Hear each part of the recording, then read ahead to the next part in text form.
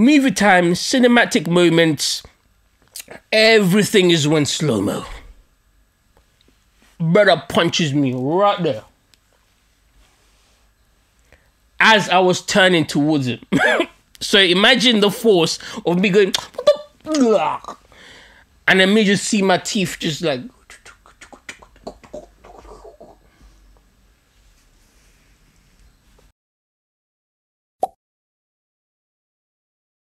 Uh, all 40 of you, I appreciate you guys. All 40 of you are unique listeners weekly now. We need to grow that up to 100, and then from 100, then we get to 1,000. But first, guys, please share, like, and subscribe. That helps us out a lot. But, anyways, so the story of how I lost my teeth. this was um January 2019 just before the pandemic happened and i think i remember this was the this was the last holiday i've been on as, as well. Um and i went on holiday to spain. It was a convenient in the moment type of holiday in the sense that follow me here. I had a friend an old friend um who was getting married in his hometown called alicante in Spain, south of Spain, very close to Valencia. And um, so, buddy, I mean, we're pretty close. Like we've been friends for like maybe a couple years now. And he's like, "Yo, bro, like I'm getting married, but I'm not getting married in London. I mean, we're gonna do one in London, but one in Alicante as well. Do you want to come to both?"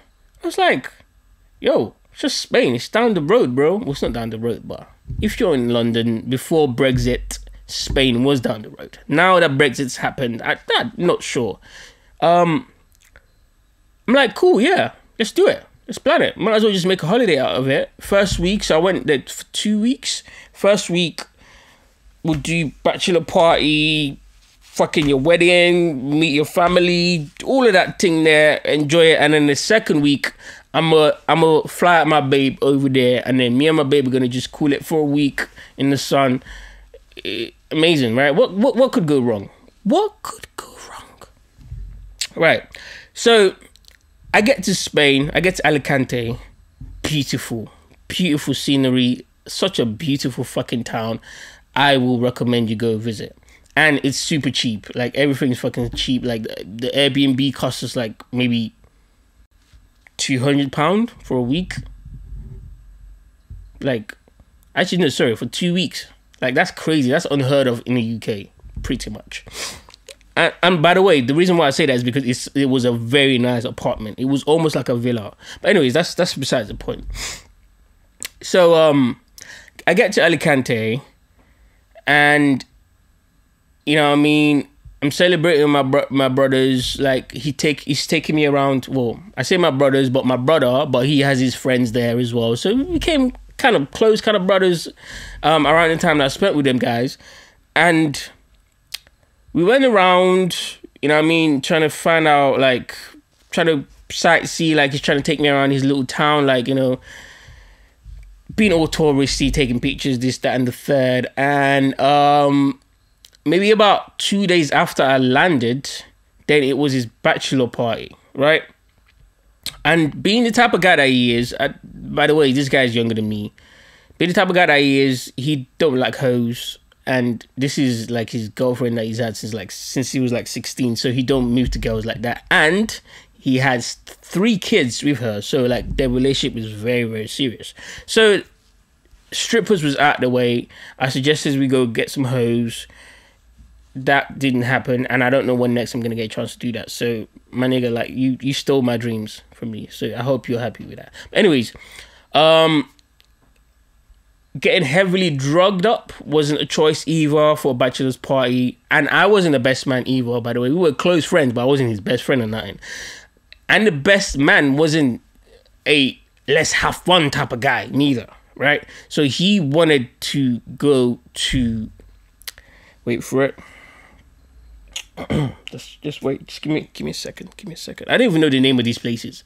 See them places that they have all the fucking bouncy um car it's not bouncy castle, but it's like them bouncy fucking things and they've got the basketball hoops and that. I I have no idea what the fuck they're called, but they're like fucking action arenas or whatever the fuck kids, little kids go there and bounce off off of one thing to another, off of one thing. You you know what I'm talking about.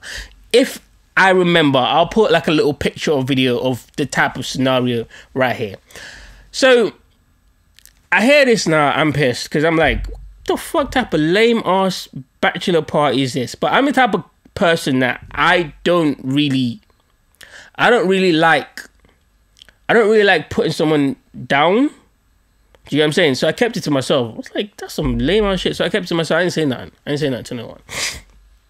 So when it came time for us to actually go down there, we went down there. We, we did have fun. It was incredible. Ah, okay, I take that back. It wasn't incredible, but it was okay. Like, if it was like 11, 12, it would have been incredible. But it was grown men jumping around, like trying to have fun. Anyways, was jumping around, jumping around, jumping around, jumping around, jumping around, and I um laid my eyes on this beautiful Spanish specimen of a woman, right? And y'all know how I am. I see a beautiful woman and I not that I lose composure, but I just go for it. And I'm not really thinking of anything else. Do you get what I'm saying? I just like I'm just like cool, you're on my side. Unless she she's like, nigga, I I'm not interested in your talk then I 180 just I mean just go the other way. But she was feeling me. I was feeling her. The one thing she didn't tell me though is that her boyfriend um was in the vicinity. Just outside in the car park. He didn't want to come in with the kids, which I understand because me and this nigga could have had something in common. I didn't want to be there either. I'll be honest with you. I did not want to be there at all either. But um I'm cooling with Shorty now. I mean, splitting one, two, three games, it was a little bit difficult because she didn't understand much English and I didn't understand much Spanish. But she understand a lot more English than I understood Spanish. So it was decent, but just not as smooth as it could have gone. But I could tell she was feeling me, definitely, one thousand percent. So I'm talking, talking, talking, talking now, and at this point, I leave my boys like the boys that they're in some cage playing football, bouncing around and shit. I'm like, alright, cool, I'm gonna go do some grown man shit, and I'm talking to this girl, right? I leave them. Maybe we're talking for like maybe 20 minutes now. Her man walks in into the into the little arena place, right? And at this point, I do not see him because my back is to the door. First mistake. And sure, he carries on talking to me like a man didn't just walk in. I, maybe she didn't see him. I don't know. Either way, I don't know. All I know is this nigga walks in, taps me in the back. This whole time that the nigga walks in and taps me in the back, I'm having a conversation with his girl. His girl couldn't tell me, first of all, I'm sorry I forgot to let you know I have a boyfriend. And secondly, he's right behind you. Could have given me a heads up. She didn't. But it's cool. Nigga tap on my shoulder. I'm like, the fuck? Like, because I'm thinking this girl is single, right? And I'm not even thinking this could be her boyfriend, nothing like that. I'm just like, what the fuck is this nigga like? Can't you see I'm hollering? After I finish hollering, then maybe you can have your own chance. Like, it's just bro etiquettes. Do you get what I'm saying? So I was a little bit pissed off. And I looked at my bro, and I was like, oh, lo, lo, lo, lo siento, lo siento, lo siento. Mistake number two. Don't speak Spanish or any other language when you're not really sure what the fuck it meant. Now, lo siento, I thought meant, hey man, relax. Like, relax, man, you have your turn. That, that's what I that's what I was trying to tell buddy. You know what I'm saying? Like, relax and you have your turn. First of all, telling a man that he will have his turn for his own girlfriend is disrespectful. But at the time, I had no idea they even knew each other. And at this point, she still was not telling me shit. And she's acting like everything's normal. By the way, fair women. Anyways, so I turned back around and I carried on talking to her. And but now Buddy's like, you know what I mean? Like almost grabbing my neck. I'm like, what the fuck? What the fuck wrong with this freak ass nigga, man? We don't want to free some nigga. Let me fuck first and then you can fuck, nigga. What the fuck is wrong with you, you fuck nigga? So I get pissed off and high rated. I turn around like, what the, what the, hey, it's about to, boom, my fucking face. Teeth flies out.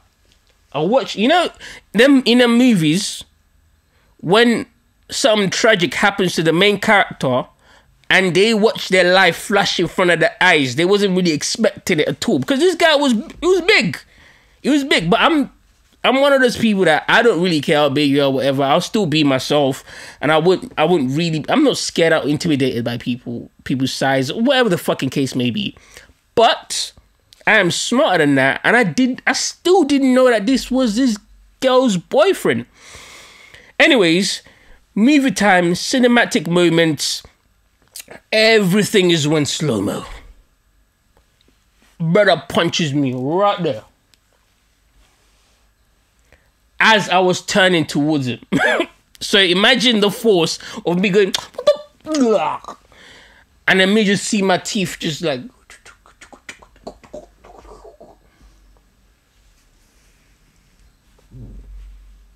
Now I'm pissed. I'm like, barely talking, blood all on my fucking hands. So I'm like, and at this point, I don't even know what to think because I'm like, what the fuck, bro? It's not that deep. There's so many girls in this place you could go move to. Why you go move to the girl that I'm currently moving to? I'm even giving you the chance to go move to her after I'm done. I'm not gonna be in Spain for too long. And again, maybe it's come up because I had a girlfriend at the time, but th- that's another story for another time. But anyways, that happened. And then Shorty wanna go, yeah, now it's my boyfriend. Ah, he's so crazy. Why you doing blah blah blah? Why you do that to him? Now she acts like I'm like, yo, yo, what? I'm there, I'm like, yo, what? You wasn't the fuck? Oh fuck, fuck. Oh, so I, I run to the toilet to go look at my situation and get rid of my situation. I didn't even try to punch body back because as soon as he punches me and she's like, that's my boyfriend, I'm like you know what? Fuck it. Like, cool. No problem. No, whatever. Like, I need to clean my fucking face anyways. So I went to the toilet, tried to freshen up and shit. Um, the shit did not um look good at all because my whole fucking front tooth was missing and it just yeah. That's the story of how I lost my front tooth. I I just thought you guys might be interested in that. Um, it's not too exciting. But after that did happen though, I went back outside to try to find this guy because he was on site now. Because it went from I don't know this nigga. Why the fuck is this nigga trying to be like, oh, cool, that's her boyfriend? And then something sweet to my brain, like, wait, hold on. Even if you are her boyfriend, why ain't you just have a conversation with me? I'm like, yo, that's my girl. But he didn't say nothing the whole time. Actually, now that I think about it, but he was speaking in Spanish. I just didn't understand what the fuck he was saying. And I just kept telling him, lo siento, lo siento. Which means silence, by the way.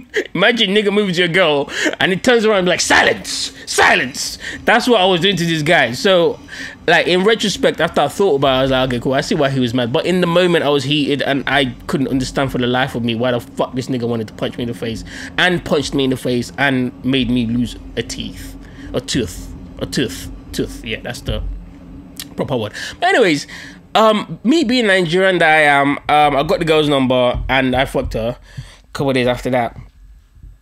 Um, just kind of felt good. I mean, it's like revenge because when I came back out, they tried to fight Brethren. He left. He left. Him and the girl left. Didn't see them no more. My brain just came. I was like, what, what's going on? What's going on? I was like, bro, you lot didn't even back it, man.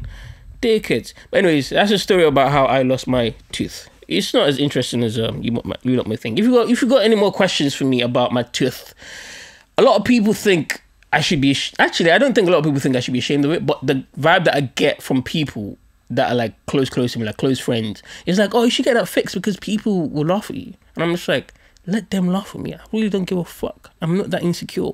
I'm very confident in who I am, whether I have two teeth or 32 teeth. Anyways, um, yeah. So that's how I lost my tooth.